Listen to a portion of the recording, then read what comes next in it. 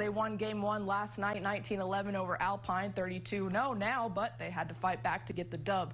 But just showed what they're capable of doing, and they're one win away from moving on to the next round. Bucks trying to get themselves on board first in this game. Bottom of the first, they go for the suicide squeeze. They can't execute it. Inning over, now top second, and Wall's about to just change the script of this one. Bases loaded, and Sutton Hurst will grab a pair of RBIs. He hits a single up the middle. That'll make it a 2-0 game, and the Wall Hawks would go on to roll, and they win this game 16 to 4 in five innings. They'll take on Breckenridge in the regional semifinals.